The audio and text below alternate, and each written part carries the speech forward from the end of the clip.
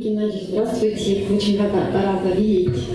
Вас слушаю совсем недавно, ну, пять месяцев, а вас раньше не знала. И когда узнала, слушай, а, вы просто как глоток свежего воздуха в моей жизни. Спасибо. И у меня такой вопрос. Со мной сейчас рядом мужчина, ну, не здесь. А, Я хотела узнать, мне его Бог дал или как, или для воспитания, для сдачи экзаменов, я как мужа. Я не пойму его отношения к себе. И как бы правильно, правильно ли я иду, выбрала ли я путь, А, я как бы тружусь над собой, Ну, хотела бы. Личные отношения – это всегда испытание у всех людей. Причина – это сама их природа. В личных отношениях кроется очень сильное желание. Человек от личных отношений хочет счастья, причем максимального счастья. И это хочет не только один человек, но оба человека. И ощущение счастья или понятие у мужчины и женщины кардинально отличаются друг от друга. Женщина под одним понимает счастье, мужчина под другим. Всегда отношения между мужчиной и женщиной – это страдание. Всегда. Особенно, когда люди до этих отношений совершили какие-то серьезные поступки. До этих отношений за несколько лет вы совершили плохой поступок, связанный с личной жизнью.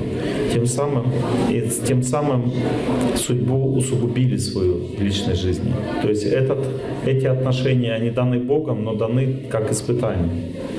И это не значит, что они плохие, они могут стать хорошими. Если вы выучитесь, поймете, поймете, что такое семейные отношения.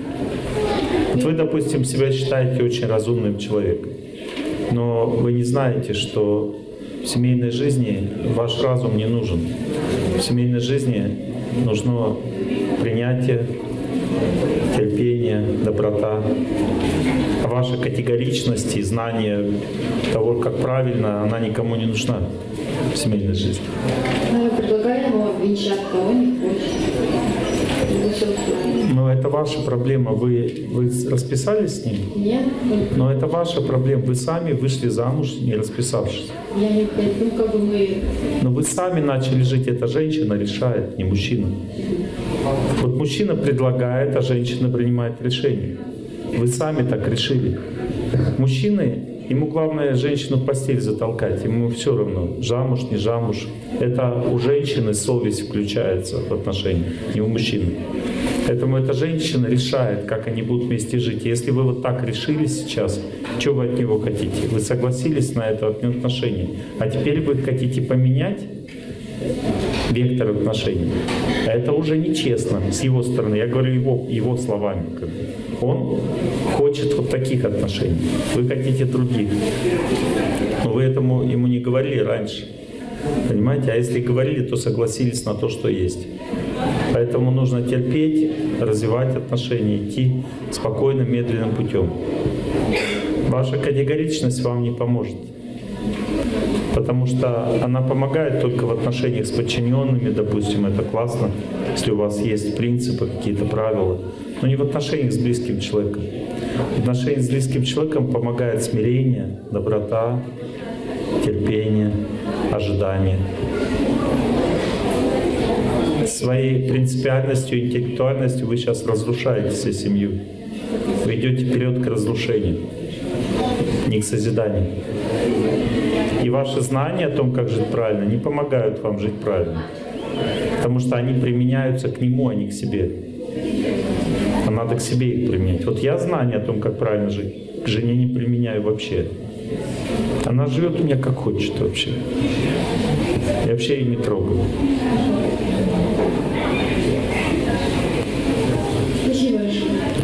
Я один раз жену спросил недавно, говорю, это нормально, говорю, что у нас в семье ты всегда права, а я всегда не прав. Она говорит, нормально.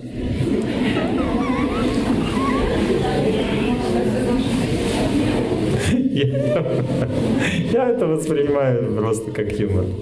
Я могу и так, и так жить. То есть могу, когда я всегда не прав, могу, когда я всегда прав. Я просто учусь жизни в этом мире, учусь мудрости. Мудрость не означает все знать. Мудр- Мудрость означает принять человека таким, какой он есть. Вот это мудрость. Когда вы все знаете просто чисто головой, а сердцем не можете человека принять, отталкиваете, это глупость, а не мудрость. Хоть вы можете иметь очень высокое положение в обществе, от этого ничего не меняется. Ну, если вы пришли на мою лекцию, я вам об этом говорю.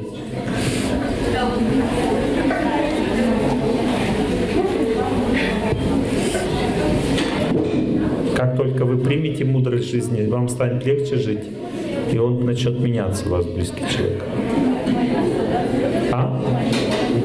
Не только молиться, нужно перестать его докучать. Надо по-доброму к нему относиться и принять его таким, какой он есть. Просто принять его. Сразу он станет лучше, начнет лучше становиться. Потому что у него протест сейчас в сердце против вашего отношения к нему. Этот протест меняет, меня, мешает меняться. Если уж говорить о венчании, то он просто капризничает. Ну, то есть, если бы вы вели себя по-доброму с ним, он бы давно уже обвенчался. Он нормальный человек, в принципе, он как бы не против вас. Он, ему не нравится, что вы предъявляете к нему требования, которые он не может выдержать. Все.